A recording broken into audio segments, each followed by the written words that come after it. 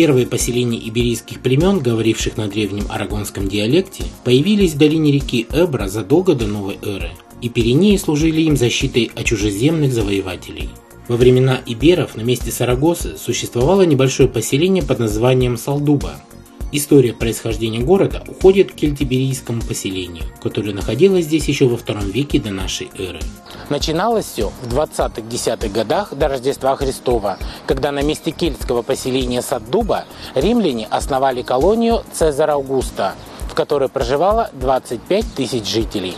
С 7 века Сарагоса принадлежала Кордовскому халифату и служила мавританским форпостом в борьбе против христианских королевств Северной Испании. После распада халифата она стала центром самостоятельного мусульманского государства. Впоследствии была завоевана Альфонсо I, королем Арагона и Навары, став процветающей столицей его королевства. Все арабы, населявшие город, должны были быть выселены в принудительном порядке.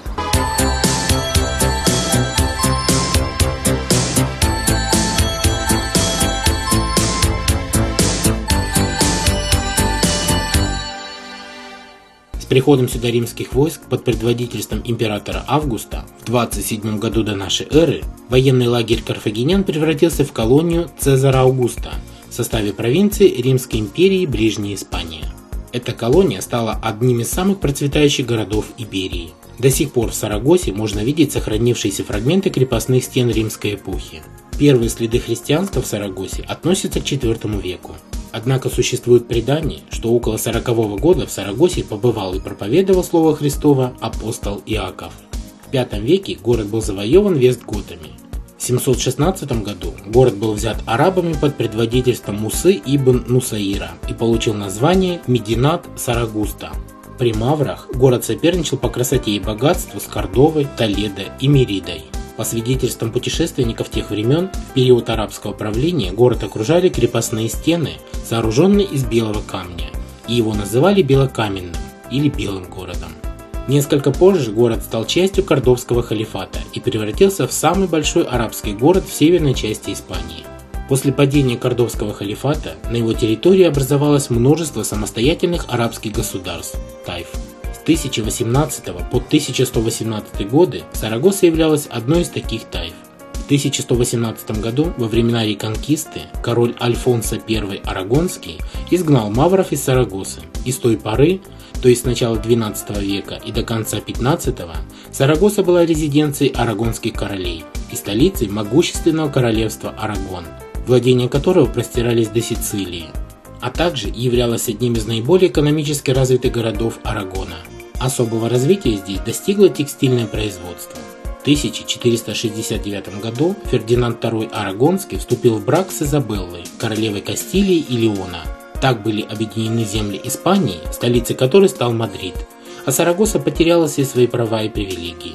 В 1542 году в Сарагосе был основан университет, в котором сейчас обучается около 40 тысяч студентов. Он входит в список лучших государственных университетов Европы. Во время наполеоновских войн Сарагоса прославилась на всю Европу своим мужественным сопротивлением французским войскам. С тех пор Сарагоса получила титул «Всегда героическая», а ее военное знамя украсила почетная награда испанских королей. Во второй половине 20 века в Сарагосе наблюдался демографический подъем, главной причиной которого было строительство некоторых фабрик и заводов. История Сарагосы крепко связана с легендой появления христианства в Испании. По преданию, Дева Мария явилась перед апостолом Иаковом, стоя на мраморной колонне, и повелела построить на этом месте храм. Видение исчезло, а столб остался. Тут и была возведена базилика Нуэстро Синьора дель Пилар. Этот столб стал символом единения земли и неба. С тех пор каждый год 12 октября в Сарагосе, как и по всей Испании, отмечается праздник Las Fiestas del Pilar. А так как эта дата в 1492 году совпала с днем открытия Америки, Ежегодно 12 октября празднуется День Испании, или как его еще называют, День Колумба. Имеются сведения, что когда-то Сарагоса была окружена стенами из белого мрамора, поэтому ее называли Белым городом. В настоящее время в Сарагосе преобладают розовые и красные цвета. Кирпичи именно такого цвета использовались в мавританской архитектуре. Все и сразу можно увидеть на площади Дель Пилар. Тут резиденции 15 века и остатки древних римских стен, окружавших город, базилики и соборы 15-16 веков, а фонтаны и арки прекрасно дополняют картину. Самое яркое место в Сарагосе – это, конечно же, площадь Пилар. Но чтобы ничего не перепутать, шагают до следующей площади – Цесар Аугуста. Говорят еще и Цезарь Августа. Названа она так потому, что на ней сохранились фрагменты настоящей римской крепостной стены. А рядом расположена одна из сохранившихся сторожевых башен – церковь и колокольня. Она, как и Пизанская башня в Италии, падает. Наклон очень хорошо заметен. Затем я снова возвращаюсь к главному символу Сарагосы – 11-купольной базилики Нуэстро Синьора дель Пилар. Это храм, который стоит на втором месте по посещаемости в Испании. А Дева Мария Пилар является покровительницей всей страны. Снимать в храме категорически запрещено, поэтому мне пришлось сделать несколько кадров прямо от входа. Если перейти через дорогу, то можно оказаться в главном храме Сарагосы – соборе Сан-Сальвадор. Когда-то арабы на месте римского форума возвели здесь мечеть, но христиане, вернув себе свои земли, переделали мечеть снова в христианский храм. А вот отделка от мечети осталась. Чего-то только не понамешано. Поскольку церковь строили с 12 по 17 века, то здесь элементы романского, готического, мавританского стиля, а также стиля барокко. В отделке башни исламские мотивы сочетаются с элементами готики, и смотрится это очень интересно. Для того, чтобы просто увидеть, полностью рассмотреть и зафиксировать на фото и видео все эти шедевры, я посчитал нужным отправиться на другой берег реки.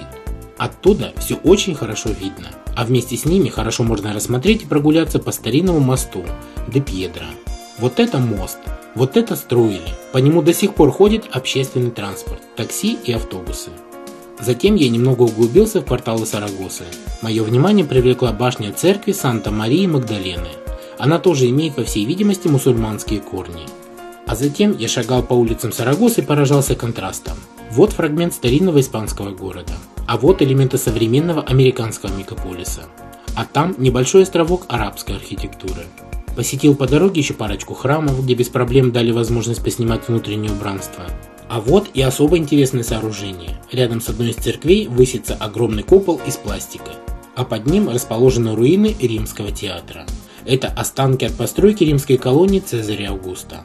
Хорошо просматриваются трибуны римского амфитеатра, а также многочисленные лоджии и подсобные помещения. Размеры, правда, не особо впечатляют, но сам факт того, что это римский амфитеатр, стоит того, чтобы на него обратить внимание и потратить некоторое время. И еще одно очень интересное место в Сарагосе – замок или дворец Аль-Хаферия. Он не показался мне слишком интересным. Наверное, входной билет в 5 евро недорого, но ничего интересного там увидеть я не планировал, поэтому ограничился внешним осмотром. Это типичный дворец в мавританском стиле с многочисленными внутренними двориками и резным орнаментом на стенах. О нем мне известно, что это единственный сохранившийся на территории Сарагосы подлинный памятник эпохи арабского владычества. В XI веке его возвели для халифа, а спустя два века перестроили для христианских королей. Королевская чита Фердинанд и Изабелла сделали Аль-Хаферию своей резиденцией в 1490 году. А Святая Инквизиция на период с 15 по 17 века прибрала его к своим рукам. Сейчас здесь вместе с музеем расположился и парламент провинции Арагон. В Сарагосе каждая из культур, римская, христианская, арабская и еврейская, некогда царившие в городе, внесли свою лепту в создание, развитие и становление города таким, каким он сегодня предстает перед нами. Сарагоса – это город великого Гои. Здесь он родился и здесь создавал свои шедевры. Гоя известен как один из лучших испанских художников. Возможно, что многие идеи его холстов, созданные типажи, были навеяны прогулками по любимому городу а благодарные потомки на центральной площади его родного города поставили ему памятник. Voyage, voyage.